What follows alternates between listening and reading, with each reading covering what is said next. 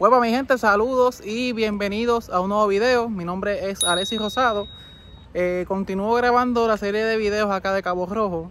Ahora mismo me encuentro en la que la plaza pública de Cabo Rojo, que lleva por nombre Ramón Emetero Betances. Eh, les estaré hablando de él más adelante. Eh, lo que sí les puedo ir adelantando que sus cenizas se encuentran aquí mismo, donde está esa estatua justamente de él.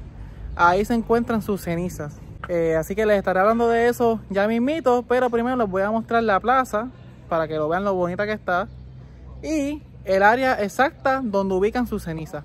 Ya saben que en este video ese va a ser el contenido. Fuimos, corillo.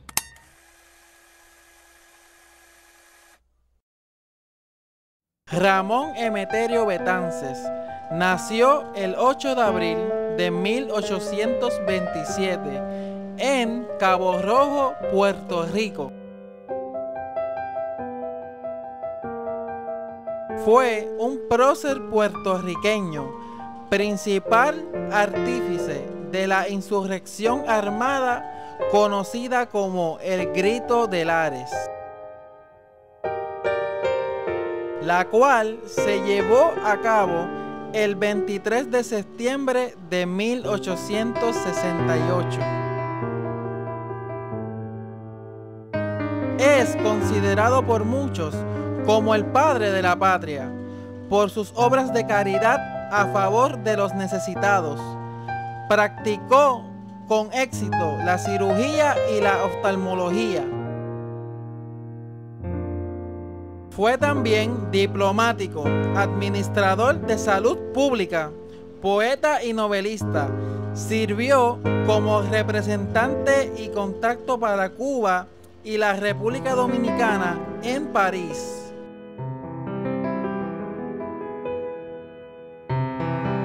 Betances construyó una casa para él y su esposa, en la cual solo vivieron por menos de dos años. La casa, llamada la Casa de los Cinco Arcos, todavía sigue en pie en la calle que lleva su nombre, cerca de la esquina con la calle Luis Muñoz Rivera, al sur del centro del pueblo de Mayagüez.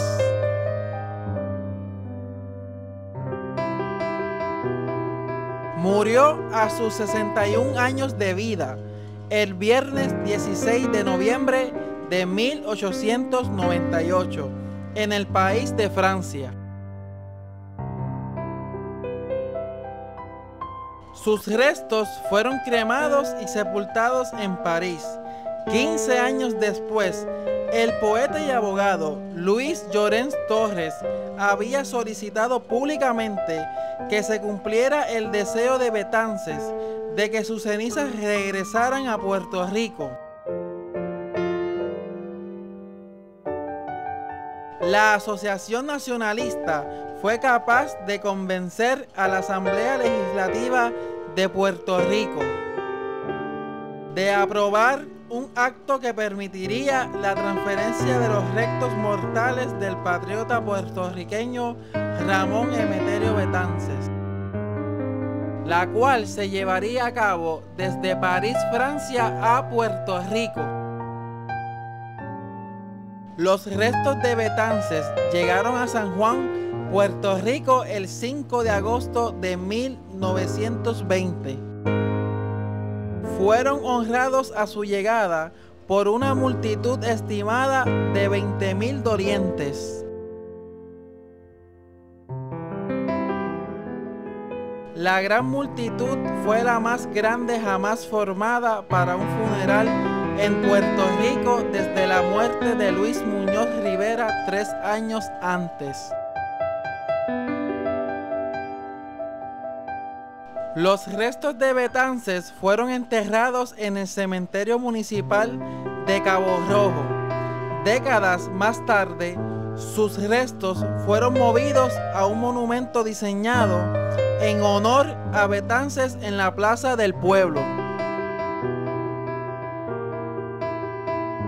Hoy es domingo. Normalmente los domingos las plazas públicas se encuentran así, bastante vacías. Lo que quiero que vean es lo grande que es la plaza. Una plaza bien amplia. Tiene muchas, muchas localidades alrededor de ellas. De todo un poco. aquí viene siendo un lugar donde ponen eh, artistas a cantar y eso. Cabo Rojo, cuna de Betances. Miren por aquí la tranquilidad de hoy. Aquí tenemos obviamente una catedral que casi en todas las plazas públicas de Puerto Rico hay una. Aquí es el lugar donde ubican su ceniza, que ya mismo voy a pasar por ahí para que ustedes puedan apreciar lo que dice y eso. Algo que me gusta de esta plaza, que hay muchísimos lugares eh, donde sentarse. Que por lo menos si se te cansan los pies, hay donde descansar.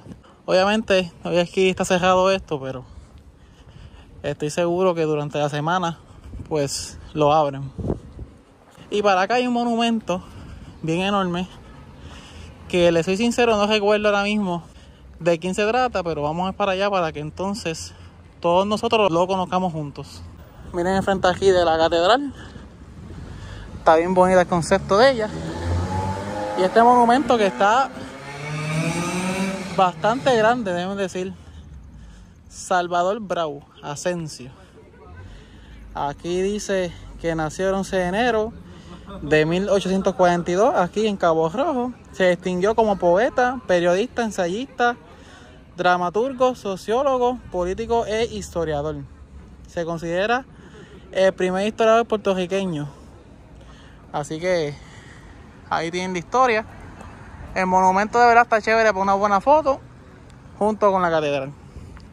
Pero ahora vamos a ir a donde Betances, que es lo que realmente les quiero mostrar en este video. Bueno gente, pues eh, aquí les muestro el lugar eh, aquí está su, su estatua. Ahí hay un par de palabras sobre su historia.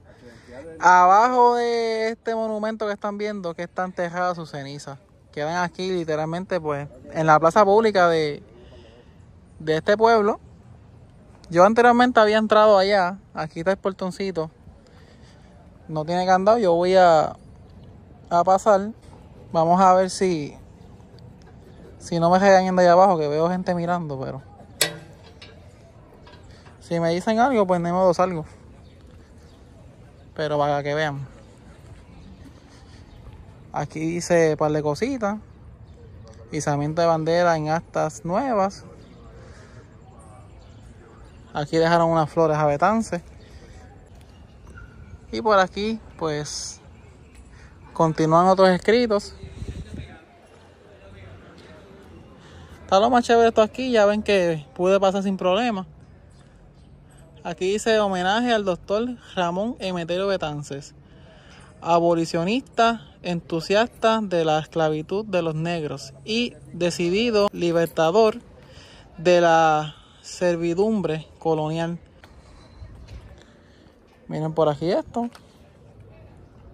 Pues ya saben, gente. Si quieren, ¿verdad? Este, los que conozcan su historia, que es una historia muy buena, muy llamativa, es digna de leer pues saben que pueden rendir homenaje aquí a Gran Betance.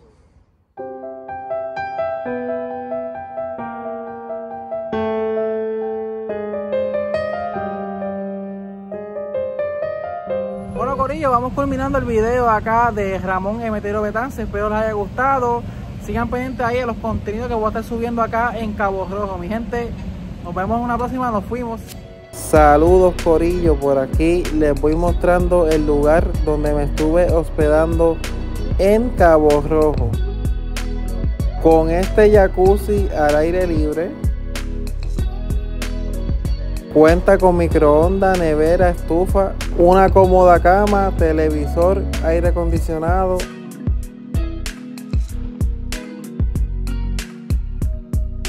Una ducha con agua caliente.